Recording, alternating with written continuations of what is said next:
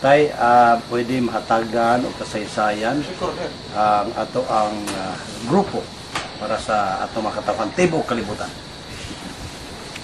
Maining atibok kay kalibutan ay yung kumakanan. Kaning akong grupo, dili ni kay ako ato ning grupo tanan. no? Tibok man ning kalibutan. Diatag na ko niya to 1952. 1952.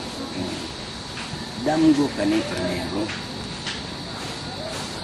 Damgo na ko, limag yun ka, damgo na ko. Uh, upat ka damgo. Ug sa ikalima ng damgo, dili na damgo. Diya naman si Dr. Rizal nagsulti na ako. Mao nga, akong ipanabi pagkabuntag. Kay Sabado man to sa gabi. Pagkabuntag ng Domingo, akong ipanabi nasuko man si Kristo.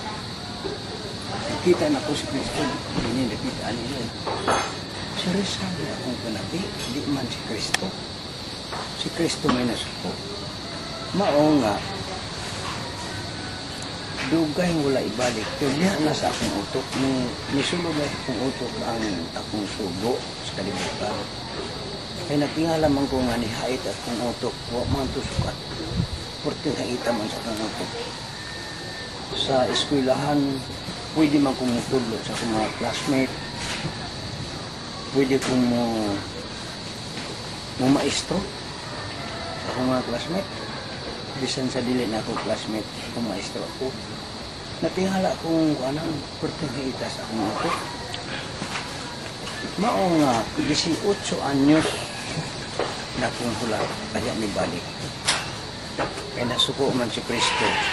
Mao nga, wala niya i-continue paghatag ang detalye sa kalibutan. Moto nga, pagka 1970, nibalik siya na po.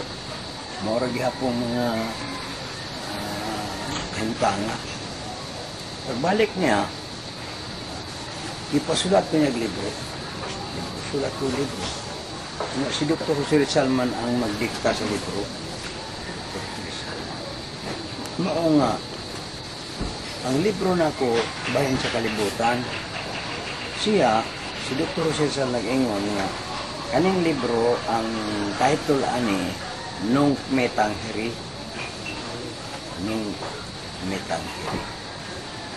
Di, ako ipangita ang Nung Metanghiri, kay ang iyang sulat doon sa una, Nuli Metanghiri.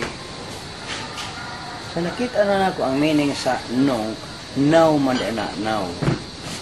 Munang kung atong tibok panon ana tatag kahulugan touch me now. Touch me now. Mao nga yatagan ako niya lima ka tuig nga pagtago ang siya tago karon tago ayaw pag isulti ang Bible kay Bible man ang among isultihan siya ay pag isulti sa mga tao ng Bible, mutago kasulod sa limang katuig. Himong musug musugod kani unya sa July 27, 1975. Gihulat na ko ang 1975, July 27. Dito din ko magsugod ini sa sindangan. Sindangan ko magsugod. Sa akong mga kauban sa trabaho, kaya naka-intra man ko pamanday sa hospital sa Sindangan, extension sa hospital. Mao nga, dito ko makasugod kay niabtan man ko dito sa 1975 sa July 27. Mao nga dito na nagsugod na lain ko hangtod nga nagasuroy ko sa din sa Dipulog dila sa mga kabukiran, pagtugan sa gingharian sa Diyos. Kay gingharian man sa Diyos ang akong sugo. Akong ipasabot din sa mga katawhan nga ang gingharian sa Diyos, wala na sa Israel. Ikuha ni Kristo o gihatag niya sa usa ka nasod. Wala man ang gingharian to sa kapuno-punawan, wala na ay mo pagtuon ato sa kapuno-punawan. Naa sa usa ka nasod Muna akong git, muna gipasinggit kanako.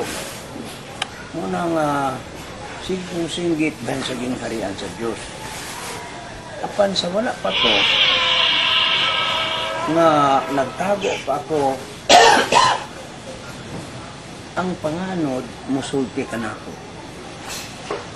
na na. Pero layo kayo. Anong bungtod nga nana? Musulti ka na ako ng panganod.